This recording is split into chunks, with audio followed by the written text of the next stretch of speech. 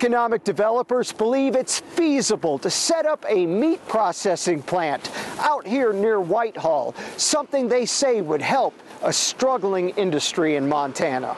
There's definitely a great job creation element to it, being able to increase that role for more people to work locally.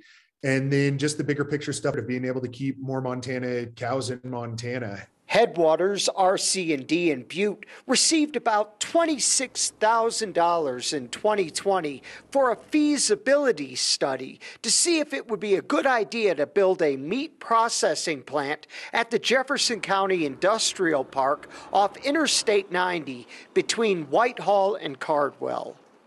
Those in the small meat processing business have been complaining about the unfair advantage the Big Four have, which includes Tyson Foods, JBS, Cargill, and Marfrig.